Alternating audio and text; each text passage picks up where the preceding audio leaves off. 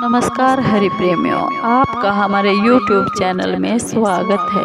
हरि प्रेमियों, कैसे हैं आप? उम्मीद है आप सब अच्छे होंगे। आइए, आज का प्रसंग शुरू करते हैं। आज का प्रसंग है, भादो 2023 शुक्ल पक्ष प्रदोष व्रत कब है? हरि प्रेमियों, इससे पहले अगर आप हमारे चैनल पर नए हैं तो प्लीज़ चैनल को सब्सक्राइब ज़रूर कर लीजिए। और बेल आइकॉन को ज़रूर दबा लीजिए ताकि आप तक हमारे सारे नोटिफिकेशन पहुँच सके। हरी प्रेमियों, आपका एक भी सब्सक्राइब हमारे लिए बेहद मायने रखता है। आइए जानते हैं भादो मास का शुक्ल पक्ष प्रदोष व्रत कब है?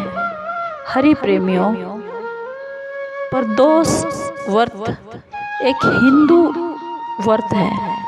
जो कि भगवान शिव का आशीर्वाद पाने के लिए रखा जाता है। प्रदोष व्रत हर महीने में दो बार आता है। और कृष्ण पक्ष में और शुक्ल पक्ष में। इस व्रत में दोनों पक्षों के त्रयोदशी को मनाया जाता है। प्रदोष व्रत अगर सोमवार के दिन आता है तो सोम प्रदोष कहा जाता है।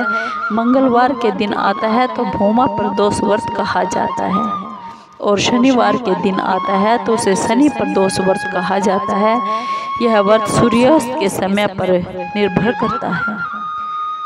प्रदोष व्रत शुक्ल पक्ष का भादो मास का बुधवार 27 सितंबर 2023 को है।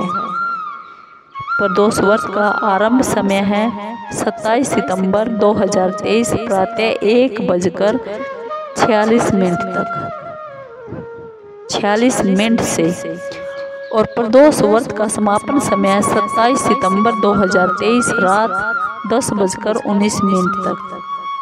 इसका समापन समय हो जाएगा।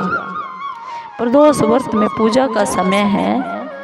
भगवान शिव की इसमें प्रदोष व्रत में पूजा की जाती है और शाम के समय सूर्योस्त से लगभग 45 मिनट पहले सूर्योस्त के समय पैंतालीस मिनट बाद तक होती है। यानी कि सूर्योस्त से लगभग 45 मिनट पहले और सूर्योस्त के 45 मिनट बाद तक भगवान शिव की प्रदोष व्रत में पूजा होती है। हरि प्रेमियों, आपको ये प्रदोष व्रत की जानकारी कैसी लगी? अगर आपको अच्छी लगी हो तो प्लीज़ चैनल को लाइक कीजिए शेयर कीजिए सब्सक्राइब कीजिए और कमेंट ज़रूर कीजिए। धन्यवाद दोस्तों।